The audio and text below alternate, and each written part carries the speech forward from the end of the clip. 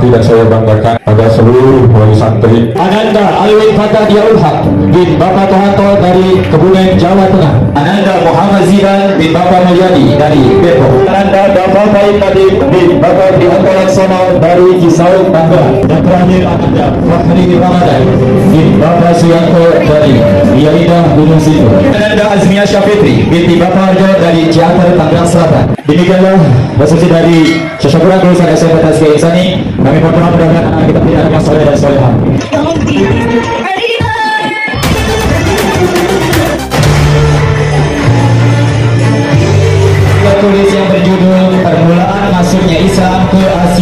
yang paling indah kecuali kalimat syukur pada Allah Subhanahu wa taala.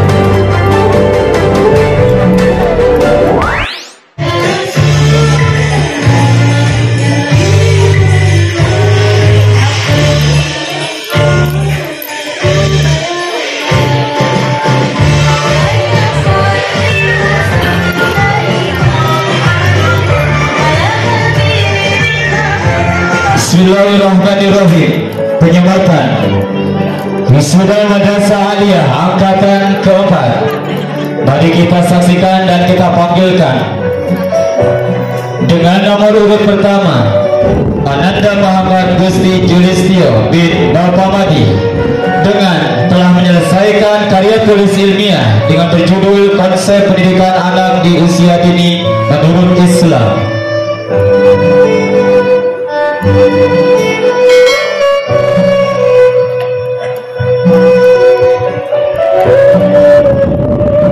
Selanjutnya Ananda Muhammad Ansori bin Bapak telah menyelesaikan karya tulis yang berjudul Perkembangan Pendidikan Islam di Indonesia.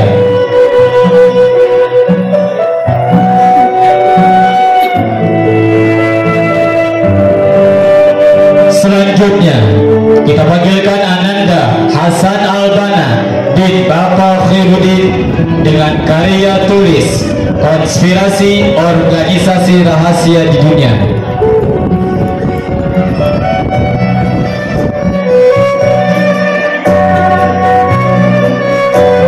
Selanjutnya Ananda Fairuzi Ahmad Ramadhani Muda bin Bapak Mustafa telah menyelesaikan karya tulis yang berjudul Pergaulan Bebas Remaja di Indonesia.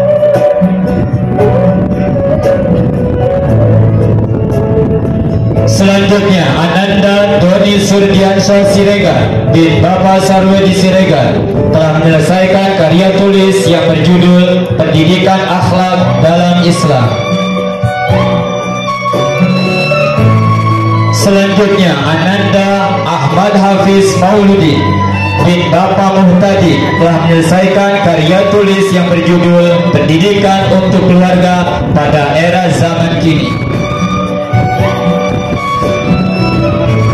Selanjutnya Ananda Muhammad Saddam Khairul Muhtadi bin Bapak Uni Murdani telah menyelesaikan karya tulis yang berjudul Permulaan Masuknya Islam ke Asia Tenggara.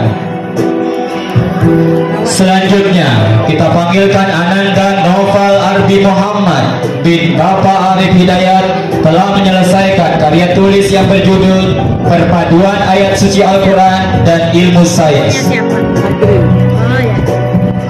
Selanjutnya, Ananda Maulvi Mirza Maulana bin Bapak Omo Maulana telah menyelesaikan karya tulis yang berjudul Sejarah dan Pengaruh Nahdlatul Ulama di Indonesia. Selanjutnya, Ananda Khairul Rizki bin Bapak Muhammad Musa telah menyelesaikan karya tulis yang berjudul Perkembangan Politik di Indonesia. Selanjutnya, Ananda Ariel Muhammad Madini bin Bapak Robi telah menyelesaikan karya tulis Perkembangan Kiroah Sabah. Selanjutnya, Ananda Muhammad Fadi Ramadan bin Bapak Yulianto telah menyelesaikan karya tulis yang berjudul Program Bank Sampah di Sekolah. Selanjutnya kita panggilkan Ananda Rafli Nur Adiansa bin Bapak Sumardi telah menyelesaikan karya tulis yang berjudul sejarah kesuksesan bisnis sahabat Rasul. Selanjutnya, Ananda Rizal Aryadi bin Bapak Sarbili telah menyelesaikan karya tulis yang berjudul Sejarah Wali Songo di Indonesia. Selanjutnya, Ananda Bumi Prasetyo bin Bapak Rifat Taruna telah menyelesaikan karya tulis yang berjudul Berdirinya Daulah Utsmaniyah.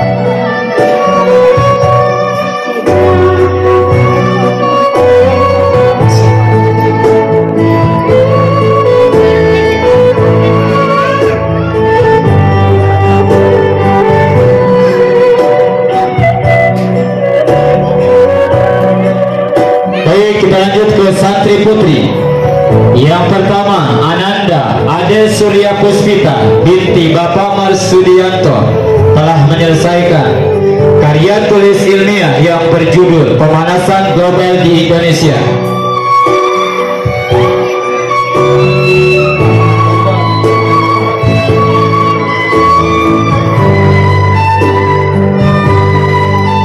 Selanjutnya, Ananda Balkis Nur Salimah binti Bapak Dadi Nur Hadi telah menyelesaikan karya tulis ilmiah yang berjudul Interaksi Sosial sebagai Faktor Utama dalam Kehidupan Sosial.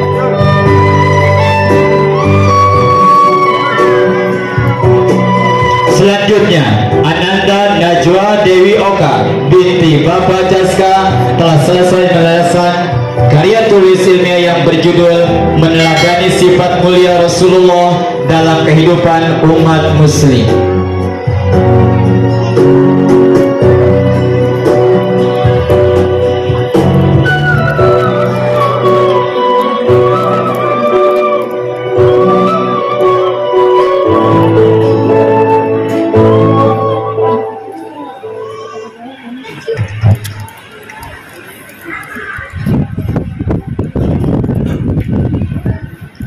Beliau pimpinan pengasuh pondok pesantren Darut Tazkiyah Abina Ki Haji Nur Qasim kepadanya kami persilahkan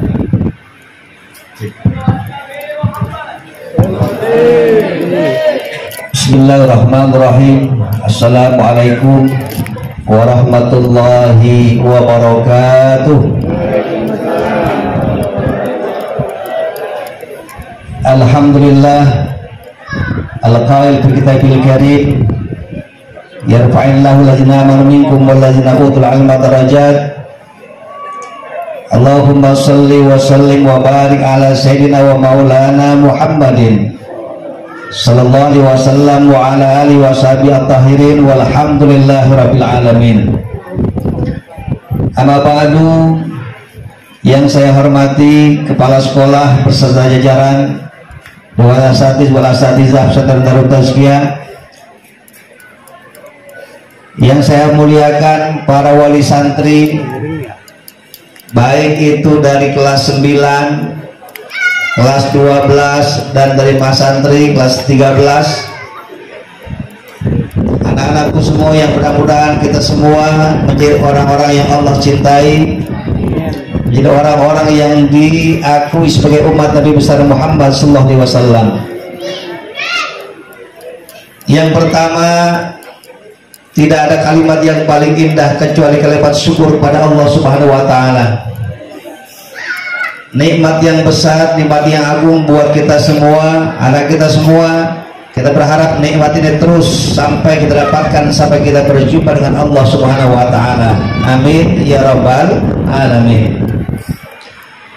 Terima kasih yang kedua saya sampaikan kepada kepala sekolah dan para jajaran para asatiz yang telah berjuang luar biasa baik untuk hari ini maupun semua kegiatan yang dengan sabarnya mendidik anak-anak kita selama 6, 3, 6, dan 7 tahun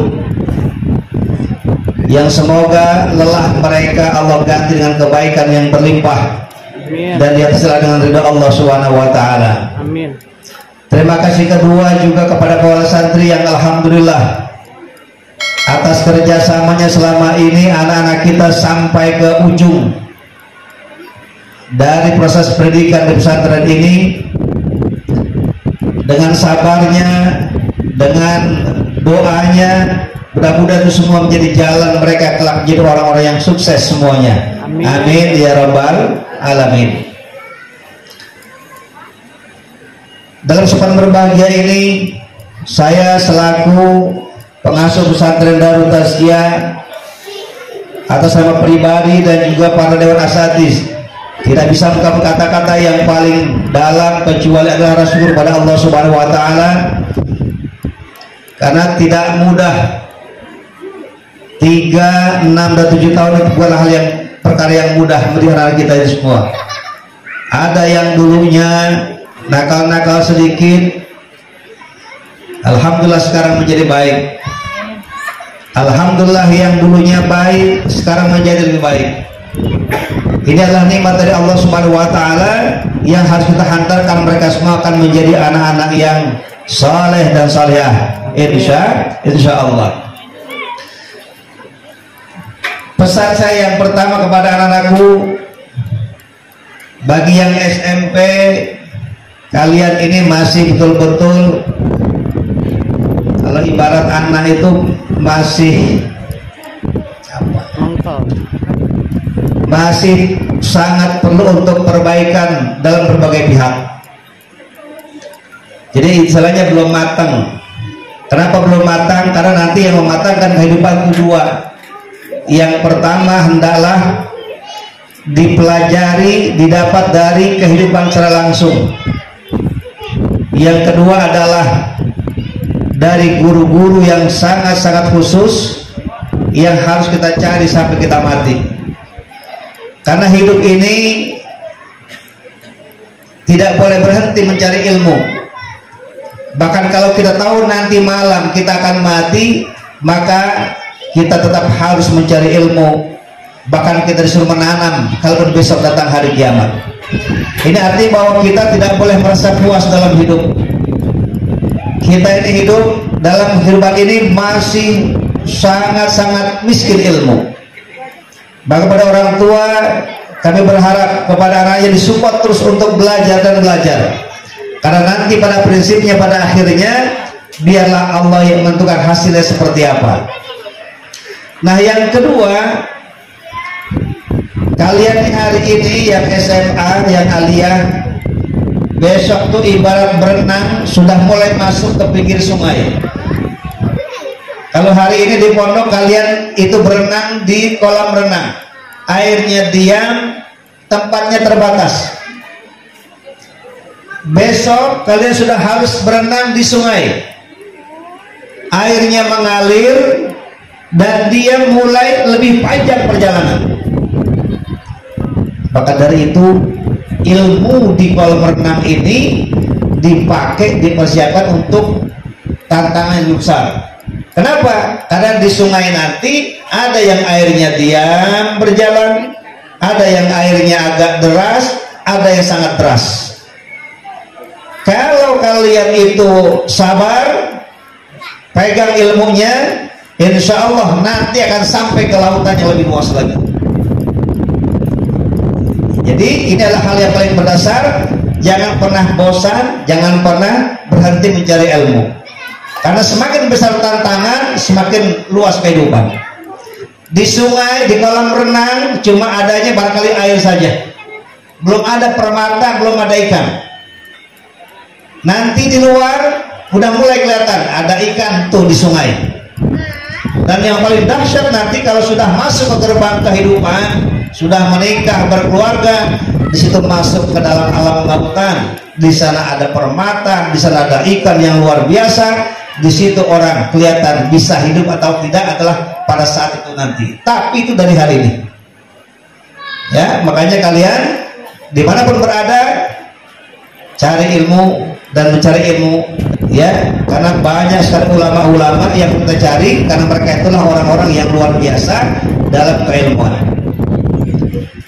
Yang ketiga pesan Abi kepada kalian semua bahwa dalam menghalami hidup yang setelah ini tidak lain adalah Abi berharap kalian ini terutama ya laki-laki tembuslah dunia dakwah ini di mana pun kalian berada kita tidak bisa menjangkau semua. Maka kita ambil yang kita bisa. Kalau ada rumput sama emas kalau manusia mana yang diambil? Emas. Kalau kambing dihadapkan emas dengan rumput mana yang diambil? Jadi yang pintar siapa yang bodoh siapa? Kalau manusia ada emas di depannya ada rumput di hadapannya dia ambil itu rumput dalam konteks masalah kemanfaatan dia bodoh. Kenapa? karena kalau emas itu dijual rumput dia dapat yang lain dia bisa ambil. Bagi kambing nggak peduli itu emas berapa nilainya. Karena bagi dia yang paling penting adalah makan kenyang sampah di hadapan orang yang berilmu jadi uang tidak?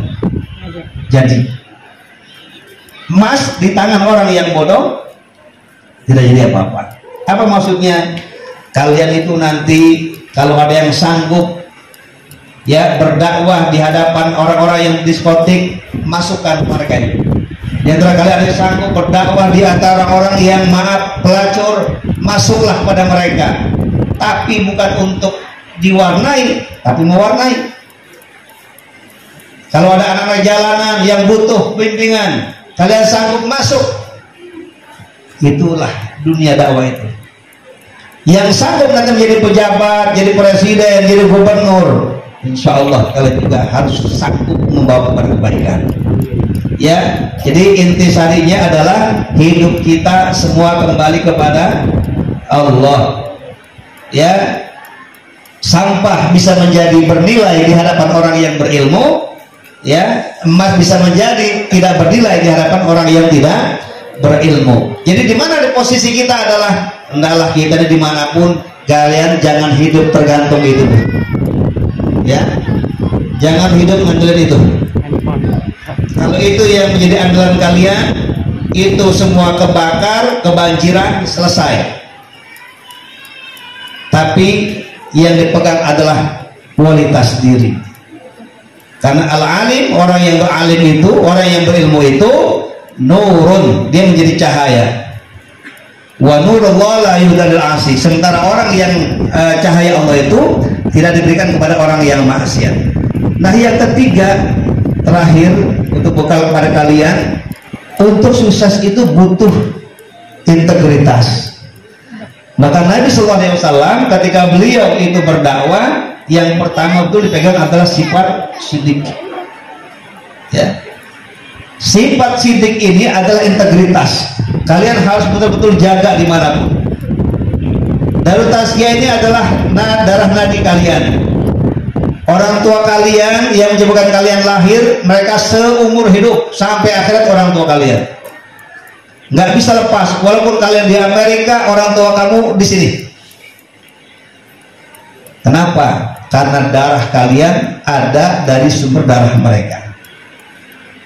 Nah darah ilmu kalian ada dari sini. Maka tidak boleh kalian lupa kepada darah tasya dalam bentuk apa? Dalam bentuk hendaklah kalian juga menjadi penerus-penerus di sana itu.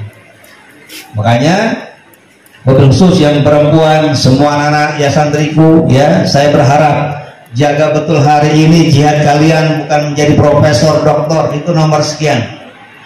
Jihad kalian kalian yang paling penting adalah pertama jaga diri dan harga diri pada hari ini. Hari ini zaman medsos betul luar biasa makanya jaga akhlak-akhlak Islam yang paling sederhana. Mulai dari tidak bersalaman dengan yang non-muhrim. Jangan membuka aurat di hadapan laki-laki yang tidak halal buat kalian dan yang paling penting adalah jaga diri. Jangan sampai terjadi sesuatu yang tidak diharapkan. Itu jihad yang paling besar hari ini buat anak-anak kita semua. Banyaknya sholat relatif. Banyaknya ruku relatif. Banyaknya ngaji Al-Quran itu relatif. Tapi jaga diri ini paling penting. Maka pada semua jaga diri. Kenapa? karena wanita itu sekali gagal bisa sejuta kerugian yang dihadapi. Ini penting karena hari ini yang menjadi tetap besar bagi kita adalah bebasnya pergaulan di luar itu nanti mereka akan kuliah berhadapan dengan dunia luar. Di pondok di sini dekat laki-laki kita halau. Besok di sana mereka akan bersama. Ah, ini yang menjadi tonggak harus betul-betul dijaga akhlak itu. Demikian pula laki-laki semuanya. Ya semoga dijaga sama Allah subhanahu wa ta'ala dijadikan anak-anak yang sukses dunia akhirat. Dijadikan orang-orang yang bisa membawa kebaikan buat seluruh umat manusia. Yang ketiga saya ingin menyampaikan permohon maaf yang sebesar-besarnya kepada seluruh wali santri. Kalau anak-anak kita belum maksimal bisa kami berikan yang terbaik. Kami sadar betul kalau guru-guru marah-marah buat anak-anak kita saya yakin itu ata-ata karena cinta mereka kepada anak kita. Agar mereka baik agar mereka itu jadi anak yang soleh anak yang bermartabat. Maka kalau ada guru yang selama di pondok misalnya ada yang berlaku kurang baik itu pasti kesalahan saya. Saya mohon maaf secara pribadi kepada semua wali santri. Ya, kita berharap dia hari kiamat nanti saling meringankan, bukan saling memberatkan. Maka kalau ada yang masih keberatan, yang masih punya rasa unak-unak, tolong sampaikan kepada saya. Dia saya akan tebus itu, jangan sampai di akhirat saya celaka, jangan sampai di akhirat guru-guru celaka. Kita hanya ingin semua menjadi jalan pemudah menuju Allah Subhanahu wa taala. Kira-kira Bapak Ibu maafkan atau tidak? Ya, Masya Allah, Alhamdulillah. Ini kita berharap sekali lagi kita ini bersaudara dunia akhirat. Ya, mereka anak-anak kita semua, Bapak sebagai anak ayah kandung, Ibu sebagai ibu kandung, kami sebagai guru kandung buat mereka. Kita berharap kita, Bapak dan mereka semua nanti berkumpul di surga Allah Subhanahu wa taala. Amin ya rabbal alamin. Yang terakhir Bapak Ibu Allah Oh memang tahun ini ada dua wisuda yang kami berikan baik yang sudah ataupun belum karena memang kita punya slogan SMP itu adalah mereka sekolah sambil mondok. Alia itu mondok sambil uh, sekolah uh, mondok sambil sekolah. Itu istilah yang kami gunakan agar mereka yang aliyah lebih fokus kepada pendidikan keagamaan di luar yang formil. Maka dari itu kalau nanti ada yang sudah sebagian karena sudah menyelesaikan semuanya itu akan kami berikan kesempatan buat yang belum itu nanti di bulan Januari. Jadi memang nanti kepondokan itu kita tidak ada basa-basi. Kalau mereka kita bilang hafal juz 2930 ya hafal. Kalau mereka hafal Alfiah 500 bait, ya mereka memang hafal. Kalau mereka hafal Imriti, ya mereka hafal. Jadi bukan sebagai nilai sekedar kami berikan.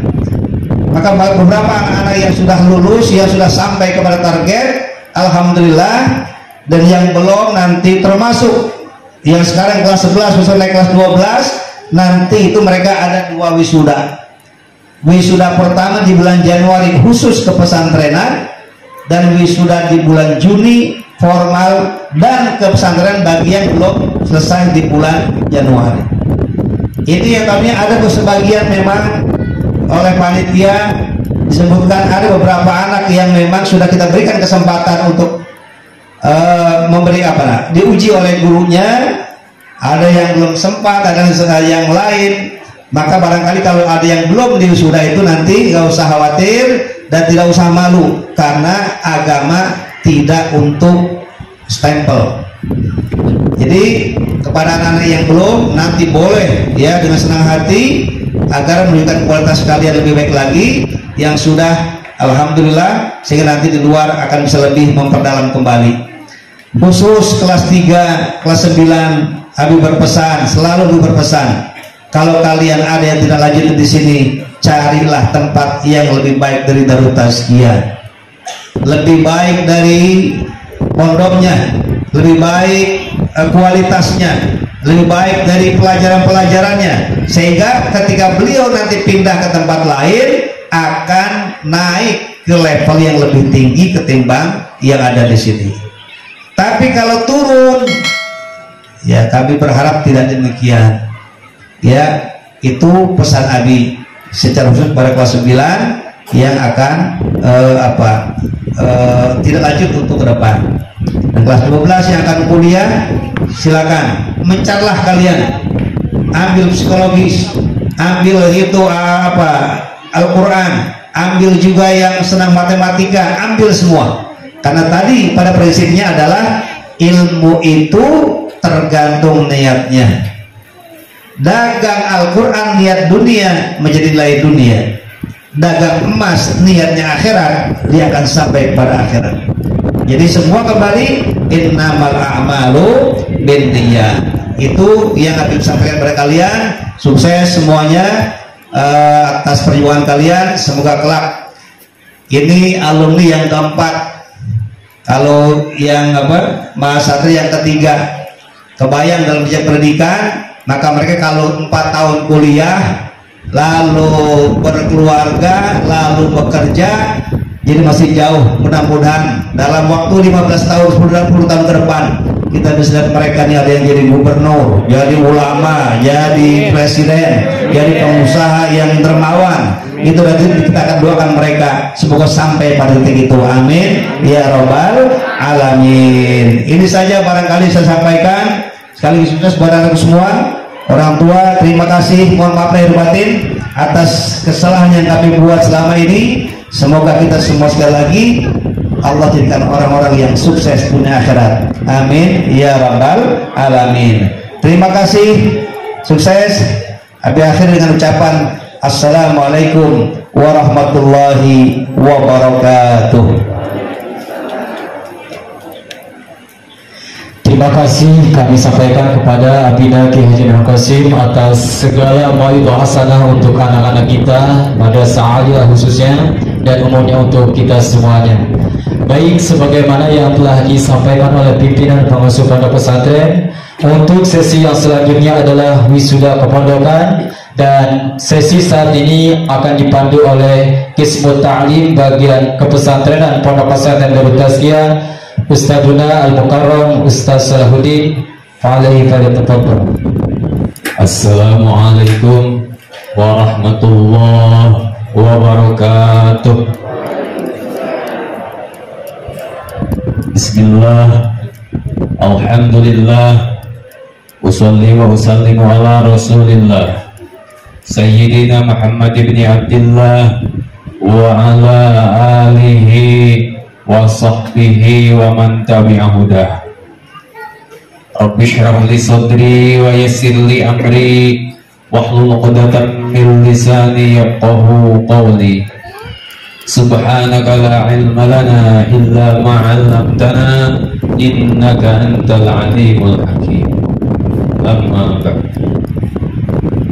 Yang sama-sama kita muliakan dan kita banggakan sesepuh Pondok Pesantren Darut Tazkiyah beserta keluarga mudah-mudahan Allah berikan umur yang panjang diberikan kesehatan selalu dimudahkan segala urusannya berkah ilmunya berkah keluarganya berkah pesantrennya berkah semua santri-santrinya. Amin ya rabbal yang terhormat Bapak Kepala Sekolah Bapak Sutisna SPD mudah-mudahan beliau selalu diberi kesehatan dan panjang umur dimudahkan segala urusannya berkah apa-apa yang telah Allah berikan kepadanya. Para asatid wal asatidat yang sama-sama berjuang di pondok ini mudah-mudahan Allah berikan kesehatan selalu dan panjang umur. Mudahkan segala urusannya berkah ilmunya berkah keluarganya berkah apa pun yang Allah telah berikan kepadanya. Amin ya rabbal para wali santri yang saya hormati mudah-mudahan semuanya diberikan kemudahan dalam segala urusannya dan mudah-mudahan anak-anaknya dijadikan anak-anak yang soleh dan salihah. Puji syukur mari kita panjatkan kehadirat Allah Subhanahu wa taala yang telah memberikan banyak nikmat kepada kita semua termasuk kumpulnya kita di tempat yang mulia ini dalam keadaan bahagia mudah-mudahan perkumpulan ini mendapatkan ampunan dan ridhonya dari Allah subhanahu wa ta'ala Salawat teriring salam semoga sultan curah limpahkan kepada junjungan alam Kanjeng Nabi Muhammad Berikut kepada keluarganya, sahabatnya dan seluruh umat pengikutnya termasuk kita semuanya mudah-mudahan nanti kita mendapatkan syafaatnya di hari kiamat. Hadirin wal hadirat. Alhamdulillah acara wisuda tahun ini menjadi pembeda dari wisuda-wisuda sebelumnya.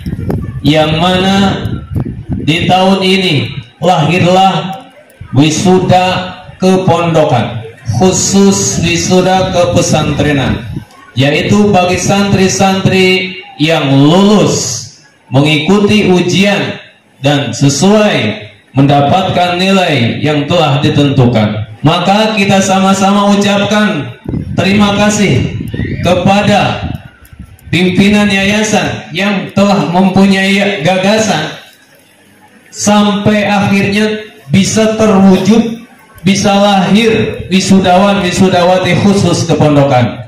Mudah-mudahan beliau-beliau anak-anak kita yang telah lulus mengikuti ujian yang akan diwisuda pada hari ini dijadikan oleh Allah subhanahu wa ta'ala anak-anak yang berguna dunia akhirat bukan hanya berguna untuk orang tua tapi berguna untuk umat. Bagi yang belum lulus, tadi udah habis sampaikan, masih punya kesempatan untuk menyusul. Mudah-mudahan yang punya niat untuk menyusul Allah mudahkan. Untuk selanjutnya perlu diketahui bahwa lahirnya wisuda kepondokan ini melalui perjalanan yang cukup melelahkan bagi para santri. Di samping mereka sibuk melaksanakan karya tulis, juga mereka dituntut untuk bisa mampu mengikuti ujian yang dilaksanakan oleh panitia. Adapun materi-materi yang diujikan yaitu pertama fikhul ubudiyah yaumiyah. Fikih tentang ibadah seharian. Kenapa Ustadz tidak fikhun nikah? Padahal mereka udah gede. Bisa aja ada yang bertanya seperti itu. Karena ibadah sehari-hari mulai dari wudhu, mandi, dan salat itu adalah ibadah pokok ketika anak kita bagus wudhunya, bagus mandinya, bagus salatnya, maka akan berdampak bagus pada akhlak dan kehidupannya. Inna salata tanha anil fahsya wal munkar. Maka dari itu kita jangan pernah remehkan yang namanya salat. Jangan pernah remehkan yang namanya wudhu. Jangan pernah remehkan yang namanya mandi. Karena kalau salah wudhu tidak akan benar sholatnya, salah mandi tidak akan benar sholatnya. Ketika sholatnya tidak benar, maka itu akan menjadi masalah dalam hidup kita. Yang kedua, yang diujikan adalah nahu soro.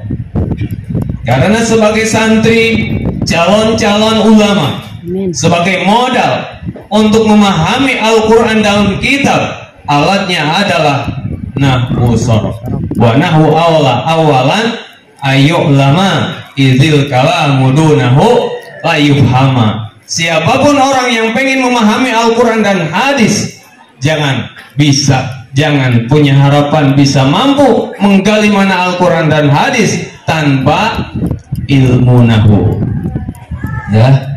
Man alamal uluma bi ghairina kaninin yu'aliju bil fikri orang belajar mendalami ilmu-ilmu ilmu hadis ilmu tauhid ilmu Al-Quran, ilmu tafsir, tapi tidak didasari dengan nahwu dan sorok, maka itu bagaikan seorang lelaki yang belum mau ya tentunya agak susah. Susah. Paham? Itu ilmu nahwu sorok jadi kegunaannya untuk bisa memahami mana Al-Quran dan kemudian berikutnya adalah tahsinu kiraah memperbaiki bacaan baca Al-Quran dari mulai tajwid sampai apa yang ada dalam kandungan pelajaran Al-Quran yang telah diajarkan di sini kemarin diujikan. Kenapa diujikan lagi? Padahal udah pada gede. Nah, khawatir Bapak Ibu ternyata keluar dari sini, sedangkan masyarakat itu taunya santri itu pasti bisa, tidak mengira santri itu tidak bisa, disuruh jadi imam ternyata baca Al-Qur'annya banyak yang salah. Maka dari itu diujikanlah kemarin tasilul qiraah. Mudah-mudahan para santri yang telah belajar di sini yang mendalami Al-Qur'an bukan hanya bisa baca untuk sendiri tapi juga bisa mengajarkan kepada orang lain khairukum man ta'allama Al-Qur'an wa 'allamahu Kemudian ada yang namanya tahfid. Ada tahfid surat pilihan dan juga ada tahfid juz 29. Kemudian berikutnya ada tahfidul kutub. Hafalan kitab-kitab dari mulai yang kaitan dengan tauhid akidatul awam. Kemudian kaitan dengan alat imridi dan juga alfiah dengan maksimal target albiah tidak muluk-muluk karena ini sebagai awal cukup 250 bait atau seperempat dari isi albiah yang ada. Alhamdulillah setelahnya dinilai oleh para pembimbing masing-masing dari mulai pembimbing fikih sampai akhir pembimbing hafalan-hafalan kitab lahirlah para wisudawan, wisudawati. Namun mohon maaf Bapak Ibu, tidak semuanya bisa eh, diwisuda di saat ini. Ya. Namun hanya sebahagian mudah-mudahan Bapak Ibu yang anaknya tidak diwisuda tidak merasa kecewa. Ya. Mudah-mudahan tidak merasa marah sama anaknya karena mereka udah berjuang semaksimal mungkin namun hasilnya seperti itu kami juga para pembimbing para panitia tidak membeda-bedakan antara anak itu dan anak ini. Namun jawab jawaban dari mereka lah yang berbeda-beda. Jadi mohon maaf Bapak Ibu bukan berarti kami mewilah-wilah membeda-bedakan memilih-milih. Namun ini hasil sesuai dengan kemampuan masing-masing. Berikutnya nama-nama yang akan diwisuda khusus kepondokan adalah sebagai berikut. Pertama wisudawan khusus kepondokan dengan predikat makbul dengan perolehan nilai 623 Ananda Muhammad Gusti Yudhistio Putra Bapak Mandi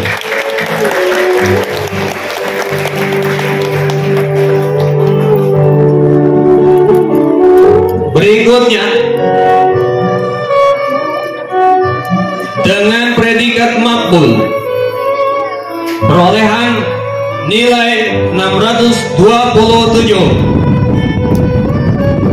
Ananda Muhammad Ansari. Bin Bapak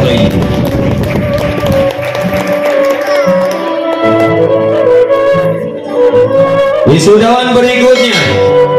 Masih predikat makbul dengan perolehan nilai 633 yaitu Ananda Hasan Albana putra Bapak Khairudriwa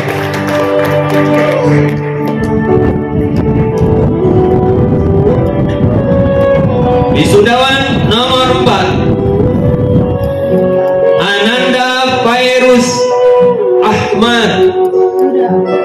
Dengan perolehan nilai 714 predikat jayyid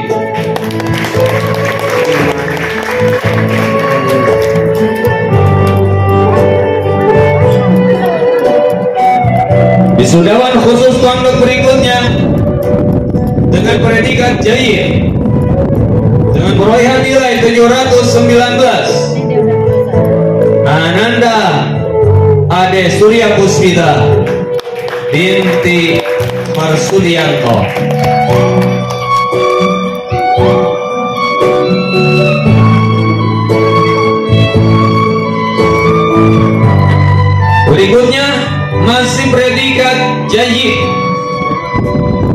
dengan perolehan hasil nilai 727 Ananda Doni Surya Surdiansyah Siregar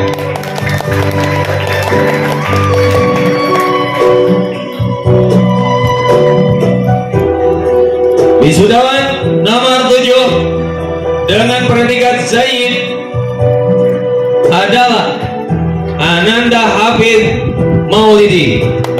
putra Bapak Mukhtar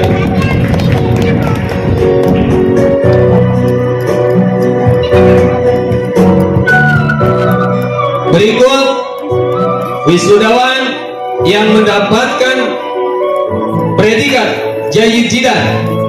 Yang pertama yang mendapatkan perolehan nilai 810 adalah Muhammad Sadam.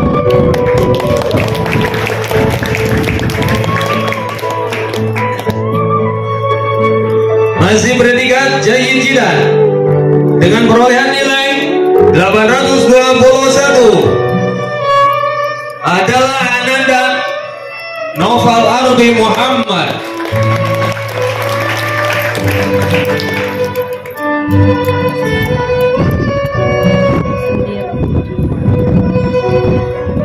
Peserta berikutnya dengan predikat Zaid Jidan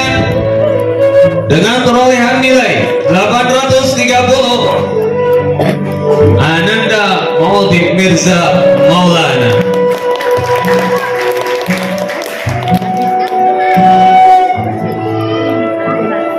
Dan yang terakhir predikat Zaid Jidan. Dengan perolehan nilai 878 Ananda Faru Rizki